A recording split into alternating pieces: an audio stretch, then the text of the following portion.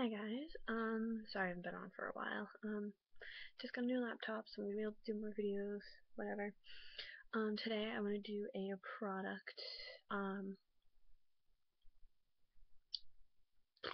review, that's the word I'm looking for, review on Maybelline Master Duo by Eyestudio. I really like it.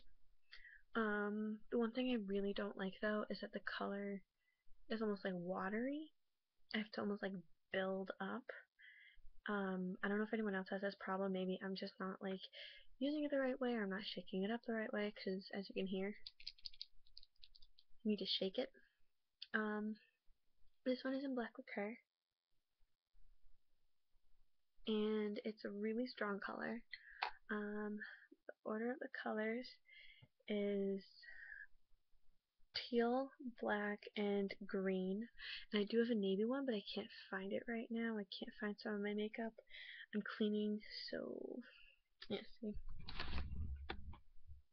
I have to clean like really bad. So it's probably in that mess. Um and like the thing on the top right there, that's the green with like the little um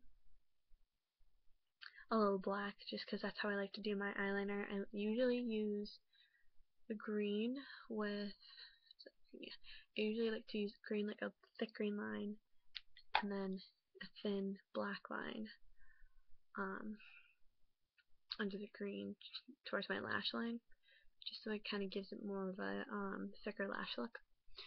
And as you can see in the, it's very clear.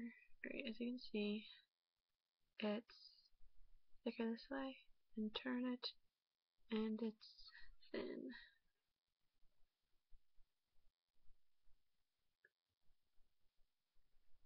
That way you have more control over how thin or thick you want the line to be. And just put it on my hand. Because I'm addicted to it apparently.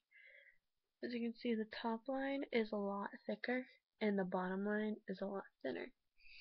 And I really like that I have that control and I like that I can you know yeah, I, I think I just like the, really the control of that. I do, however, not like the lighter colors. I think they're a little watery. I don't know if I'm having that issue because I have really oily eyelids, like just generally really oily skin.